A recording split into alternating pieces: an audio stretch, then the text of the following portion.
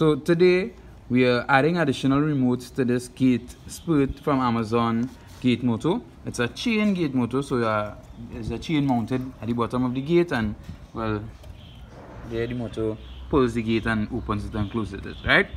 Um, It's a routine. yeah, so let's start.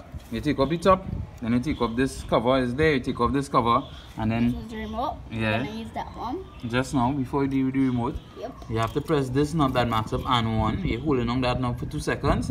You would see a LED light here. Right here. And when the after the LED is lit, after you hold on for two seconds, then you press on the remote the knob that And you- want to program to Yeah. open or close the gate.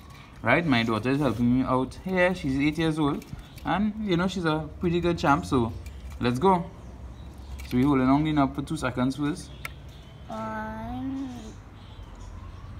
two. Right? Mm-hmm. And now put the remote in so people can see it doing the knob. Right? So Right. here, So press it and you press you press the knob. One, two, two. and like it blinking. When it stop blinking, it should be programmed.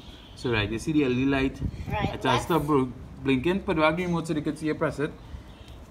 Right? And press. And that's it. Gate is opening. So press it back to stop it. And press it to close.